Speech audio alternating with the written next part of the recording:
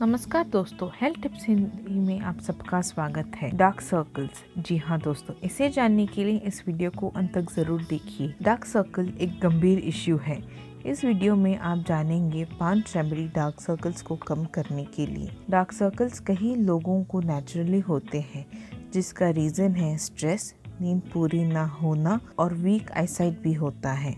इस वीडियो में हम आपको डार्क सर्कल्स परमानेंटली रिमूव करने का रेमेडी बताते हैं। रेमेडी नंबर वन दो टेबल स्पून कुकुम्बर जूस यानी कि खीरे का रस को एक बाउल में डालिए और उसमें ऐड करना है एक टेबल स्पून बादाम बादाम रोगन तेल, यानी कि आलमंड ऑयल और इन दोनों को अच्छे से मिक्स कर लीजिए और इसको अपने आँखों के डार्क सर्कल्स को अप्लाई करना है और रात को लगा रहने देना है। जो लोग ग्लास पहनते हैं, वो लोग रेगुलरली यूज़ करें इस रेमेडी को। क्योंकि उनके लिए आई मजल स्ट्रॉन्ग नहीं होते और उनको दोबारा से डार्क सर्कल्स अपेयर हो जाता है।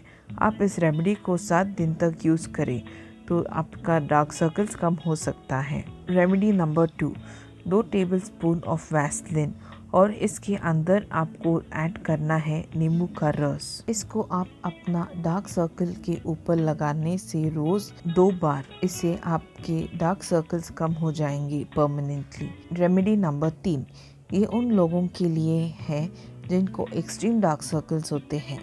इसके लिए आपको चाहिए दो tablespoon of baking soda और इसमें ऐड करें दो टेबलस्पून दूध। इस पेस्ट को डार्क सर्कल्स के ऊपर लगाएँ और इसको 40 मिनट्स तक लगा रहने दें।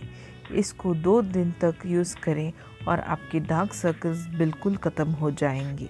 रेमेडी नंबर फोर इस रेमेडी के लिए आपको चाहिए एक टेबलस्पून ऑफ़ कॉफ़ी पाउडर और एक टेबलस्पून दूध।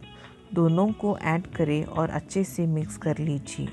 इसको आपने डार्क सर्कल पर लगाइए और 30 मिनट्स के बाद इसे पोंछ दीजिए।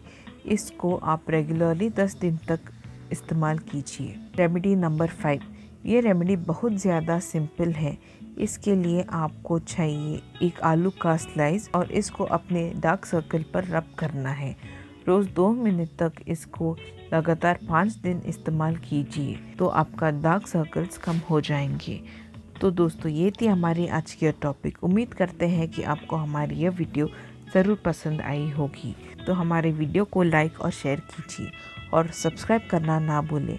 हम मिलेंगे अगले वीडियो में नए टॉपिक के साथ। तब तक के लिए स्वस्थ रहे, मस्त रहे और खुश रहे और अपना ख्याल रखें। धन्यवाद।